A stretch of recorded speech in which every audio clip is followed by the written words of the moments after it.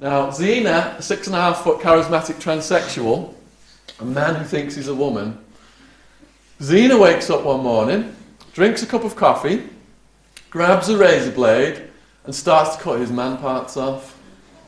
Yeah, he gets the right side off, the left side hides, he's got his hand up in his body looking for it, and he's bleeding to death. And they get a helicopter to the prison just in time to save his life. Now, I'm bringing Zena into it because we're about to get on to the most graphic part of the whole talk, which is the subject of prison rape. If you're a young person tempted into drugs and crime, you've seriously got to consider the consequence of prison rape. It happens in prisons all over the world, including England. I've got a woman who writes for me from HMP Peterborough. She said it goes on in there with various objects they're checking you out as soon as you walk through the door as potential to rape you. And it doesn't matter how tough you think you are, they'll come up behind you, put you in a chokehold, and you'll wake up and it'll already have happened. It happened to Zena. When he came in, he wasn't a transsexual back then, he was weightlifting, he was a big guy, he was a young person. He clicked up with the gang and it's blood in, blood out. I'm going to read you what happened. Were you raped in prison? Yes. How did it make you feel? Messed up, it's very degrading. What happened? The first time was a gang rape. They beat me up. They stuffed things inside my body, beat me until I was unconscious, raped me while I was unconscious. What did they stick inside your body? A broomstick. I'm going to skip the following details. Did you think about killing the people who did this to you? I thought about killing myself first. I wanted to, I still do sometimes.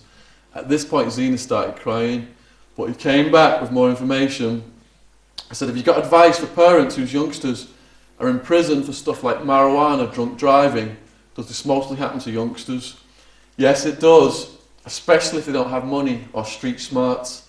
But it can happen to anyone big dudes, skinny, even the ugliest in the world. People who come to prison who don't understand the mentality of ghetto life, they get preyed on. I said, Well, how did you stop it? I took the abuse for as long as I could and I started fighting. I won most of the fights. When I stood up and told them that I didn't care about getting killed, it stopped. You've got to be ruthless. That's understatement. You've got to be ruthless. It was months later when I learned how Zena really stopped this gang raping business. Zena was studying anatomy at the time.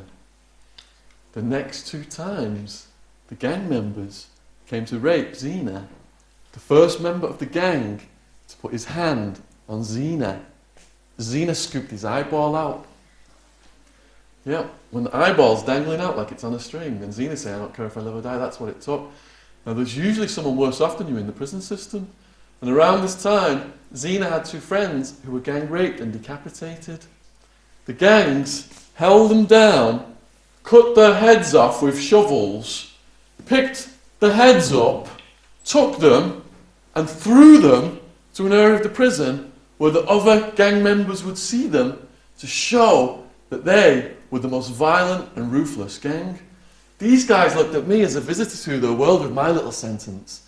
They were all serving decades, and the stories they told me just blew my mind. That's why I started putting it on the internet.